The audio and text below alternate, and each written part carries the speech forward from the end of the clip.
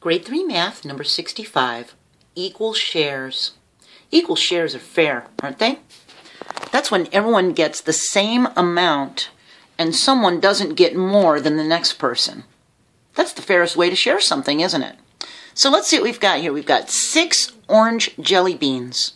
You want to share them with your friends Kaylee and Amar. So how many do you each get? What fraction of the total do you get? All right, well, we want to split this evenly. So we're going to give this one to you. This will be your group. Okay?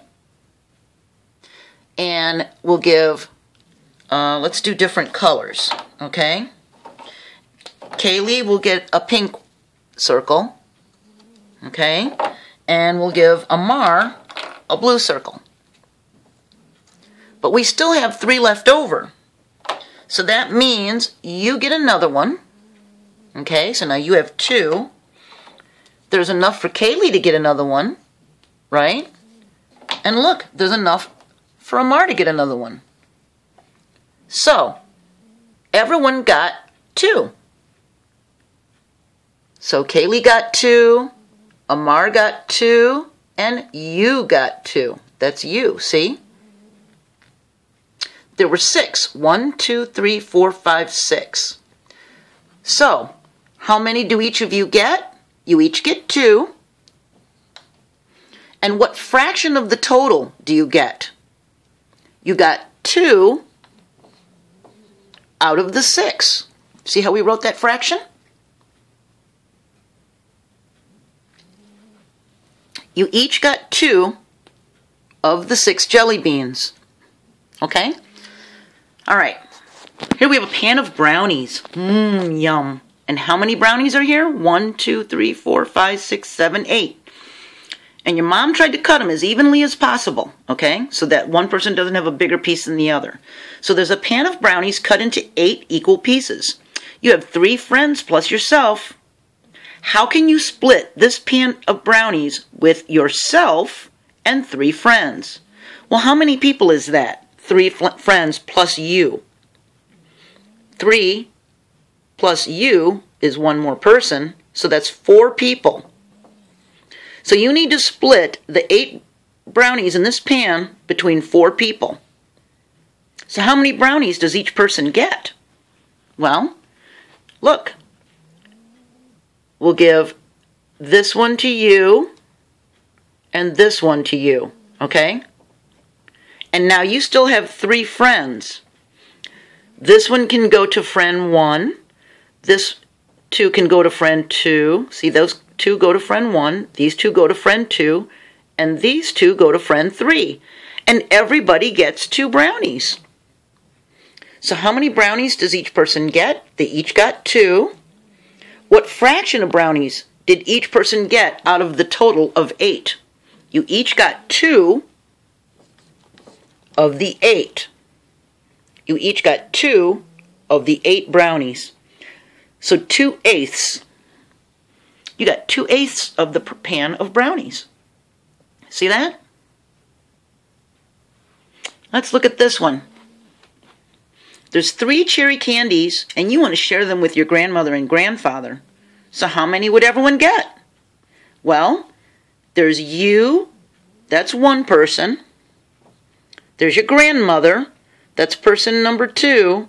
And there's your grandfather, that's person number three. So we have three candies and three people. So guess what? Everybody's going to get one candy. You get one, your grandmother gets one, and your grandfather gets one, and everyone shared equally, right? Nobody got more than the other person. Now, if you only got one of them, what fraction did you get? You got one of the three. You got one third of the candies. One third. See that? This is two sixths and this is two eighths. This is what it looks like. Two eighths. Look at all those H's there. You write the word eight and because it ends with a T, you just add an HS at the end. 2 eighths. That's how many brownies you got. For the jelly beans, you got 2 sixths. 2 hyphen S I X T H S. 2 sixths. For the cherry candies, you got one third. 1 hyphen third, one third. That's equal shares. You split everything up so that everyone gets an equal amount. What would happen if there were four cherry candies here? What would happen if there were four cherry candies here? How would you split that evenly? In fact, that one looks a little small, doesn't it? Let's make it as big as the other ones. What if there were four cherry candies here, but you wanted to split them evenly? Well, you know what you could do? You could cut this cherry candy into three pieces, okay? Let's try to make it look like it's fair here, because we said it's equal, right?